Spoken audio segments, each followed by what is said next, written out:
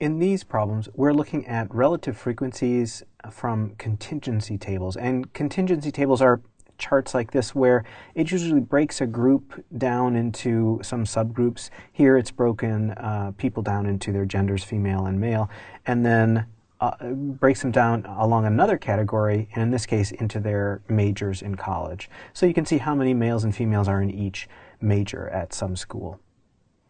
They're telling us the sample size here is 290, so all of these boxes add up to 290. And they're asking what is the relative frequency of biology majors in the sample.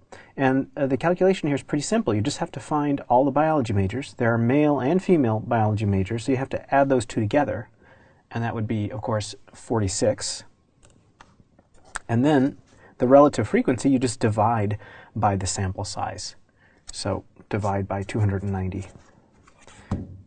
So 46 divided by 290, that's 0.158 something, and they want two decimal places, so we'll call this 0.16.